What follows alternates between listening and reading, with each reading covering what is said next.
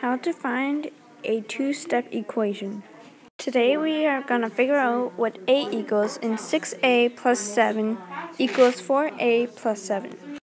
Now you may be thinking, all these numbers, how could I do this? It's very easy. All you have to do is follow a few simple steps and you will have your answer. Now you want to find out what a equals. This is a scale. You want to keep the sides even. So here's the line of the scale you want to keep even. Now you don't want a on both sides of the equal sign. So you want to subtract the smallest number from the larger number. So minus 4a equals 0. Then minus 4a equals 2a. So now you take 2a plus 7 equals 7. So we still want to keep them equal like a scale. And we have plus 7. So the opposite of addition is subtraction. So you do minus 7 equals 0. But you have to do it on the other side because it's a, scale. So minus 7 equals 0.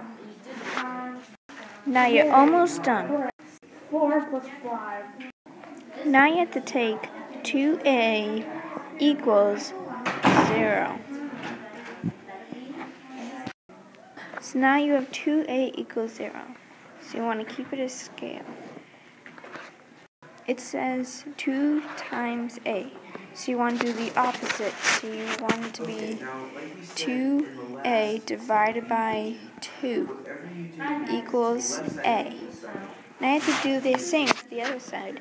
So 0 divided by 2 equal, equals 0. So now you have your answer. A equals 0. But wait a minute. How do I know if it's right? So if you want to find out if you're right, you do 6 times 0. So that will equals 0 plus 7 equals 4 times 0, 0, plus 7. So you want to take 0 plus 7, and that equals 7. Take down the equal sign, and then 0 plus 7, which equals 7. So when 7 equals 7, that means that even on the, both sides. So A really does equal 0. A equals 0. We solved the problem and we checked our work. So we definitely know A equals 0. So now we have our answer. A equals 0. Thanks for watching. Hope this helped you.